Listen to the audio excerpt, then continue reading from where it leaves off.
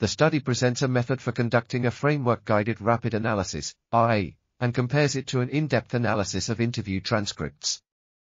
The RA was conducted within the context of an evaluation of a successful academic detailing program for opioid prescribing in the Veterans Health Administration.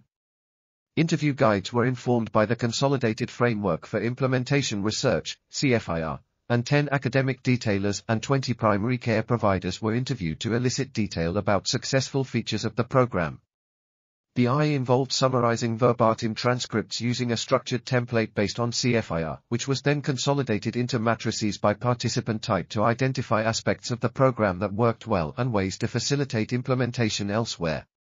The study found that integrating the CFIR throughout the RA and in-depth analysis provided structure and consistency across both analyses, and that findings from the two analyses were consistent.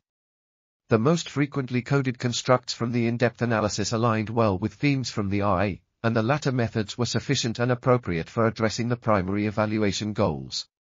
The study suggests that if consistent with project needs, it is reasonable to consider using RA when faced with resource constraints, as it can provide valid findings in a short time frame and enable identification of actionable suggestions for ongoing implementation.